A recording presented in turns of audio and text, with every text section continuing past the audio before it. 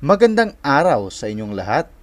Narito ang latest update tungkol sa nawawalang seaman na si Marnel Bulahan. Ilang buwan na nga ang nakalipas simula nang buksan ang kaso ng pagkawala ni Marnel Bulahan at magpasa hanggang ngayon ay hindi pa rin ito matagpuan.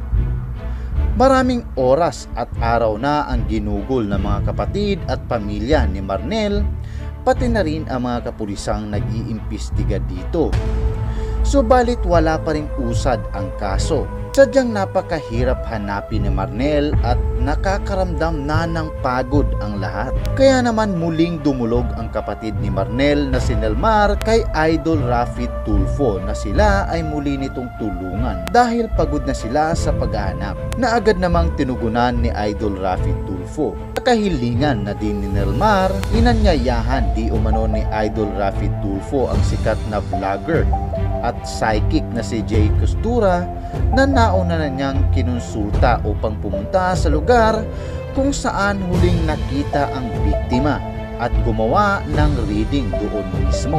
Agad naman itong pumayag at sa ngayon ay inaayos na daw ng RTIA ang mga requirements ng travel pass ni Jay at ng kanyang team kasama ang mga crew ng Rafi Tulfo in Action para sa pagpunta sa Capiz.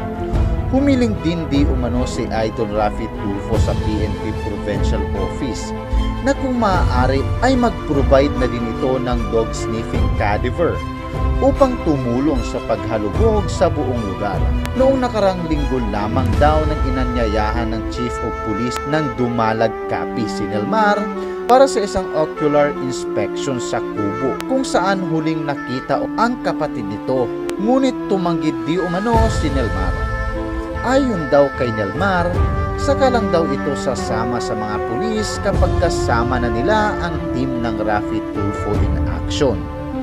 Ano naman ang masasabi mo hinggil sa usaping ito?